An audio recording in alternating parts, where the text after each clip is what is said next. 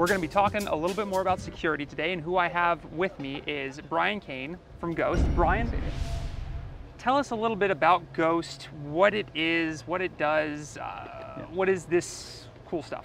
So, uh, GOST uh, started in 2005. We're a maritime security, tracking, monitoring, video surveillance, acoustic deterrent, and cloaking technology company. We do everything from boats from 20 feet to 300 feet uh, for complete peace of mind for the owner, uh, whether it's video extraction so they can see who's on the boat, calling them if the boat's taking on water, text messaging them if the boat's got a battery issue, uh, or someone's breaking into it.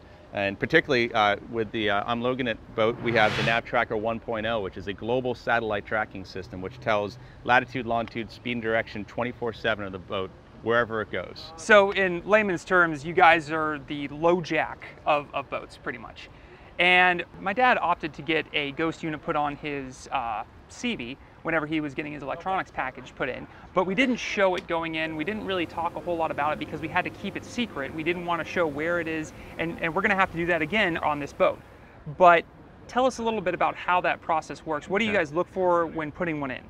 Well, you know, you can uh, hide this pretty pretty easily on a boat. You just generally don't want to put it underneath on a T-top because they usually, when boats are getting stolen, oftentimes they'll, they'll cut the T-top right off to get a uh, less weight on the boat when they're doing certain uh, nefarious things when they're using the boat.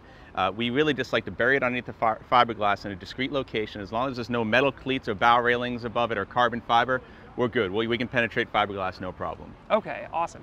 And for a real world situation, you guys had a situation come up a couple days ago where you were able to recover somebody's boat. Tell us a little bit about that. Yeah, we had a, a client of ours that had a 100-foot uh, Westship that was towing a 35-foot Everglades back from the Bahamas, 25 miles east of Miami, like 5 in the morning when they're doing the tow, the tow line broke and conditions were just too dangerous to warrant trying to get it back at that time. So they let it drift and they, they clicked the mouse and uh, we, we worked with them as well. And uh, we set up a five minute track and for the next 20 miles we watched it do a two knot drift all the way to North Lauderdale.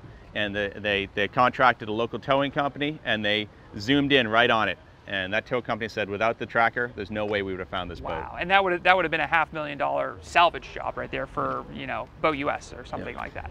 Well, we are going to put one of these units in this boat. We're not going to be able to show it, uh, but we are going to use this technology to one, protect the boat, and two, you guys are going to be able to track it as it goes to different shows, as it goes to different people's shops and has more work done on it. You're going to be able to see in a live real time where the boat is and what's being done to it. How are they going to be able to do that?